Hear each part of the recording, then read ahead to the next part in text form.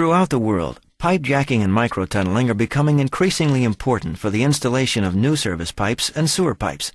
The Heron Herrenknecht AVN series introduced in this film has been deployed successfully on every continent. The advantages of the pipe jacking and microtunneling process are evident, especially in urban city areas. Pipe jacking causes minimum disturbance along the construction route, so there's virtually no disruption to the flow of traffic or any impact to the local economy. In contrast to conventional methods in such construction projects, pipe jacking and microtunneling has an environmentally friendly method and helps to conserve protected landscape areas. The following animation shows the installation of new sewer pipes DN600 in an urban crossroad with dense traffic. The whole construction site can be located in a way that only one lane is blocked.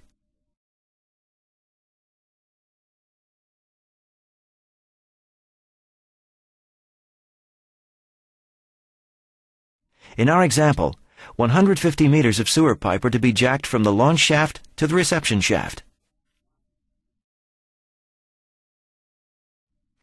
At the first stage, the area around the starting shaft is cordoned off to divert the traffic. Due to the compact design of the machine and the small diameter of the starting shaft, there will only be minor disruption to the traffic flow. In this case, the starting shaft consists of a round shaft of reinforced concrete with an inner diameter of 3.2 meters. The compact jacking frame is then placed into the starting shaft, and the slurry discharge pump is mounted on a platform adjacent to the jacking frame. The operating container with the control panel and the hydraulic power pack is located on the top rear side of the shaft. A pipe stock is then established and maintained in front of the shaft to feed the shaft crane. The slurry feed pump and the slurry discharge pump are connected between the shaft and the control container and then connected through the separation plant to form a closed slurry circuit.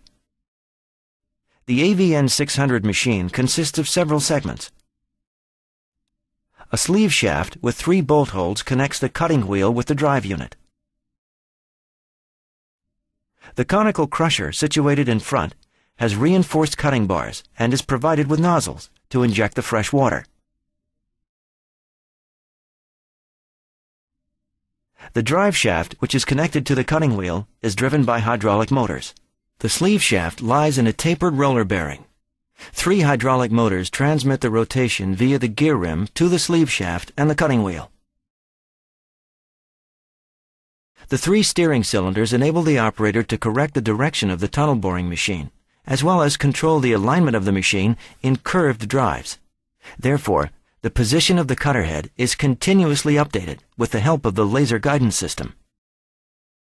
To ensure AVN 600 has a smooth method of excavation, the machine has two integrated water circuits. The standard water circuit supplies fresh water to the annulus via five hoses fixed to the inner side of the bulkhead. Several boreholes branch off from the annulus, which supply the chamber situated behind the conical crusher. The fresh water is continuously pumped through the conical crusher chamber and sucked off through the boreholes of the sleeve shaft and transported back to the surface with the shaft slurry pump up to the separation plant.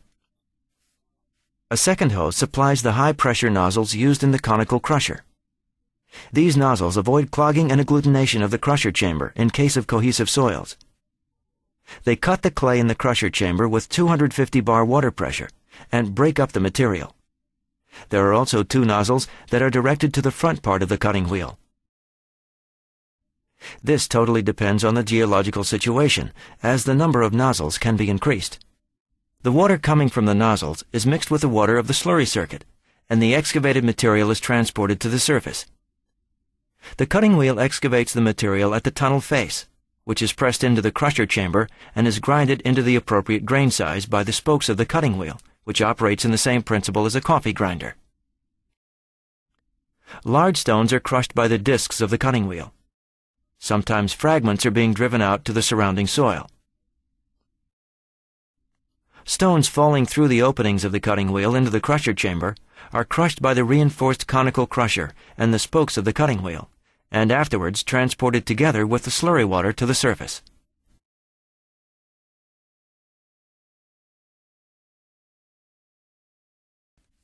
The material is picked up in the slurry circuit and transported to the separation plant through the central slurry discharge hose.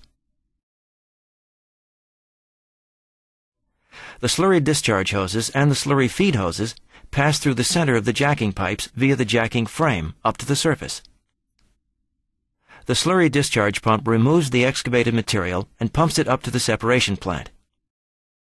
The separation plant consists of two chambers. At first, the excavated material is pumped into the back chamber, where it settles due to gravity. The overrunning water is filtered and centers in the front chamber, from where the clean water is sucked by the slurry feed pump and returned to the slurry circuit, thus creating a closed system. The product pipes are lowered into the shaft one after the other and connected with snap connectors. The jacking frame works in three stages. After approximately one-third of the maximum piston stroke, the jacking arms return, and the main thrust ring of the jack can advance further. After jacking the product pipe, the connecting hoses, which connect the TBM to the container, are disconnected. The jacking frame is returned to its original position, and the next product pipe is connected. This procedure is duplicated again and again until the whole drive length is completed, reaching the reception pit. Crossing pipes in buildings are no problem with this technique, as they can be easily overpassed or undercrossed.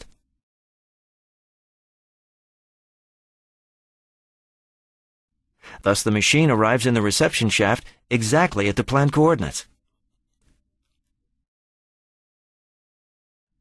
The drive is continuously monitored by a laser measuring system. This laser system is positioned in the starting shaft meeting the target which is installed in the cutter head. The laser determines the reference axis. The laser target identifies any deviation which may occur. The coordinates are transferred to the steering computer in the container and visualized on the screen.